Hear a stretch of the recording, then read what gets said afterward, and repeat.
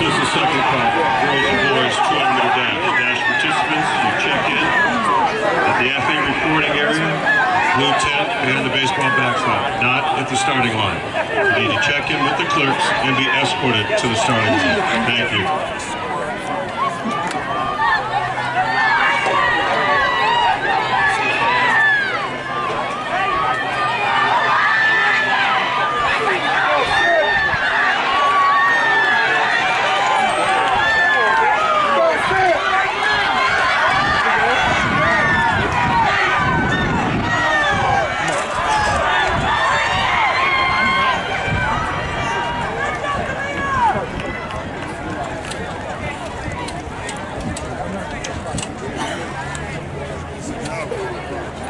Your attention is